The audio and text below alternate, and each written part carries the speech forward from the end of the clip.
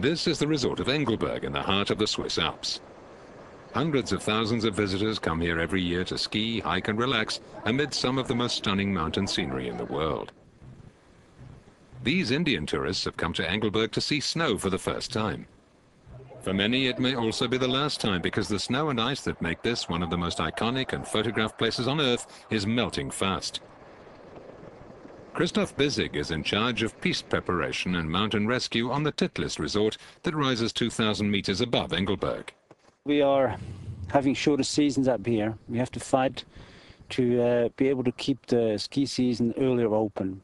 In the olden days, we started in October. And even before 10 years ago, the people still been skiing all year round up here. We stopped that about seven years ago. We carried on with a little uh, terrain park for snowboarders in a small area, but we stopped that too because it just gets too slushy. The, uh, the other thing is uh, there hasn't been much, not enough snow fallen over the winters, and that's why the reason we stopped uh, skiing and snowboarding for the summer. Less snowfall is not only bad news for skiers who have to climb higher and higher in search of pistes, it's bad news for the alpine economy, which depends on tourism. 60 to 80 million tourists descend on the Alps every year, mainly for skiing holidays. But lack of snow could lead to the closure of dozens of low-lying resorts, such as Megève in France and Kitzbühel in Austria. Here in Engelberg, piste operators have covered part of the glacier in a white fleece to stop it melting in summer. But with less snow and warmer temperatures, the rest of the glacier will continue to retreat. When I started here 15 years ago, we had about 20 meters high, big seracs, sort of continually breaking down on those days. In the last 15 till 17 years, the whole glacier has been retreating uh, to about 200 meters further up the hill. Also, it's uh, incredible. One of the major attractions on Mount Titlis is this ice cave, carved out of a glacier 3,000 meters above sea level. But as the glacier retreats, cracks are beginning to appear on the cave's ceilings. For us, it is a really sad story to see it go so rapidly going down. Because we're living off it, we love the glacier. In a way, it's sort of, uh, even if you look up from the valley, you see it in the summertime, it's white, a white cap and a, and a mountain. Sort of, if you don't, if you don't see that anymore, it's a big loss for the mountain region, for for uh, for areas which really live off tourism. It's a similar story of glacial retreat across the Alps. This is the Steingletscher Glacier on the other side of Mount Titlis. It used to occupy the whole of this valley. Now a lake has formed where the glacier's snout used to be. Michael Zemp, a glaciologist at the University of Zurich, is the author of a major study on the effects of climate change on alpine glaciers. The report doesn't make for happy reading. The mean annual thickness loss of glaciers after the end of the so-called Little Ice Age around 1850 was about 25 centimeters. Um, since the 1980s, um, glaciers in the European Alps lost about 75 centimeters per year. Since 2000, glaciers lost about one meter of ice thickness each year. And in the year 2003, when we had this extreme heat wave in summer, glaciers in the Alps lost about 2.5 meters in one single year. Glaciers are bellwethers of climate change, and even a small temperature increase can have devastating results. In the European Alps, we lost about 50% of the glacier cover since the end of so-called Little Ice Age around 1850. And the temperature increase since then was about 1 to 1.5 degrees Celsius in the Alps.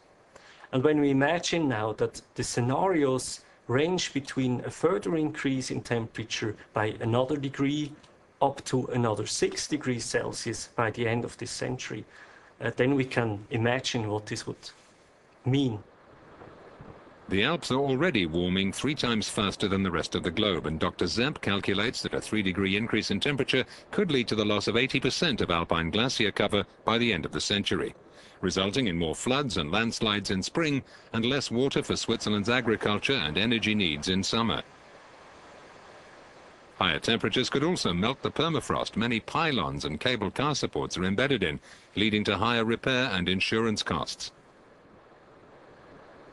sea levels have already risen by 20 centimeters and could mount by as much as 80 centimeters by the end of the century, and by up to 7 meters if the Greenland ice sheet melts. This is what would happen to England, Belgium and the Netherlands without flood protection, and this is the effect of a 1 and 8 meter rise in sea levels. Melting of ice, uh, increasing sea levels um, is also a long-term threat which will physically change the landscape of Europe and the landscape of the world. Um, if Greenland melts, um, as uh, sea level rise of up to 7 meter is being predicted, is being forecasted, you cannot adapt to that one. You can build dikes a little bit higher um, to accommodate 50 centimeter, probably one meter sea level at maximum in the Netherlands and somewhere. But seven meter, you can't adapt to. You have to evacuate people. You have to evacuate cities like Cairo, like New York, like London, like Hamburg, like Rome. Too much water is a fantasy for farmers in the Murcia area of southern Spain, which is one of Europe's hottest and driest regions. Without irrigation, this area would be a desert. But to keep such regions fertile, almost 90% of Spain's freshwater resources are needed. Farmers such as Antonio Moreno Soriano are already struggling with harsh climatic conditions. Global warming will only make matters worse. Preocupa muchísimo el cambio climático. Estamos encontrando que en los últimos años, además de que llueve mucho menos y por tanto tenemos mucha menos agua, y ya tenemos imágenes de lo que de, de, qué es lo que ocurre cuando, cuando no hay agua, cuando no existe agua en estas zonas, nos estamos encontrando con un problema añadido y es que hay cambios mmm, brutales que están afectando muchísimo a, a los frutales y a la arbolea. Murcia is often referred to as La Huerta de Europa. This is where much of the continent's fresh fruit and vegetables come from. But with studies predicting up to 40% less rainfall a year in Spain, how long will this region remain Europe's orchard? This area of Spain is booming. A decade ago, there were two golf courses. Now 70 are planned. 800,000 second homes have been built in recent years to cater for northern Europeans in search of more clement weather. The result is that farmers are often in direct conflict with the owners of hotels, golf courses and holiday homes for precious water resources. The migration of tens of millions of northern Europeans to the Mediterranean coast is the biggest annual movement of people on the planet. Here in the mega resort of Benidorm on Spain's southeast coast, tourists arrive all year round to soak up the sun. But with annual average temperatures in this part of the world expected to rise by up to 5 degrees by the end of the century, Will this corner of Europe become too hot for them? This is a map produced for the EU showing the conditions for summer tourism in Europe at present. The red and brown parts are very good or excellent for tourism, while the blue parts are less attractive. The next map shows the projection for the end of the century, based on a global 3.4 degree increase in temperatures during this century. Note how the North Sea and Baltic area become much more appealing to holidaymakers, while the Mediterranean becomes less enticing. Climate change will have more sinister effects than changing holiday patterns. In Europe, more than 70,000 people died prematurely during the 2003 heatwave, and increased temperatures could lead to thousands more deaths a year in southern Europe. Forest fires will also become more frequent across large swathes of the continent, and many bird and animal species will become extinct as natural habitats are wiped out. Climate change will have, in the view of the real experts, uh, a tremendous negative impact on biodiversity, uh, reducing it by, they say, approximately 30%. This is a, a catastrophe of major proportions. Poor countries will suffer the most from climate change as soaring temperatures, melting glaciers and falling rainfall leads to lower crop yields, less drinking water and greater starvation. The prospect of tens of millions of environmental refugees escaping harsh climatic conditions is no longer the realm of sci-fi films.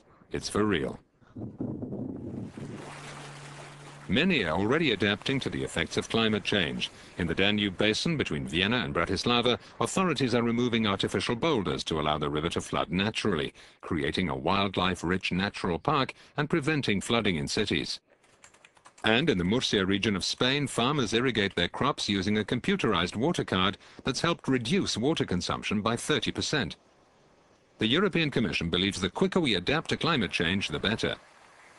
The cost of acting today is significantly less than it is to, uh, to clean up tomorrow. In our calculation, we can actually act uh, against climate change at a very small cost uh, to our economy. Global warming is a fact. Temperatures have already risen by 0.76 degrees since the Industrial Revolution and are projected to rise further by 1.8 to 4 degrees by the end of the century. Deep cuts in greenhouse gas emissions are needed urgently to prevent a climate catastrophe, but this will not solve the problem in the short term.